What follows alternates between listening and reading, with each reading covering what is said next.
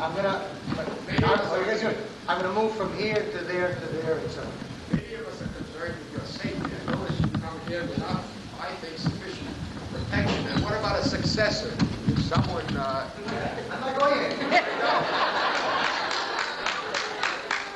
we hope so. It's a very good question. I, I mean, uh, I'm sure that some of these uh, fanatics will try to kill you eventually. I, there's no, one,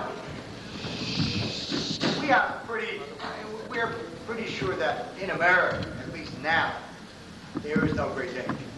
The danger is inside Israel. And it's not from Arabs, it's from Jews. It's not from Arabs. The police always tell me at rallies, you know, watch yourself, and they're always talking about the Jews. In Israel, I don't go anywhere without bodyguards. I mean, good ones, ones, people who know the score. Nevertheless, you're right. It's not possible. I, I, I speak at two rallies a night. These are all open air rallies. I'm on a platform. It's wide open. There's no way to really, to really stop. Uh, if someone is that crazy and, and is not afraid of being, of being caught, it's not possible. I mean, it- it's not possible to stop.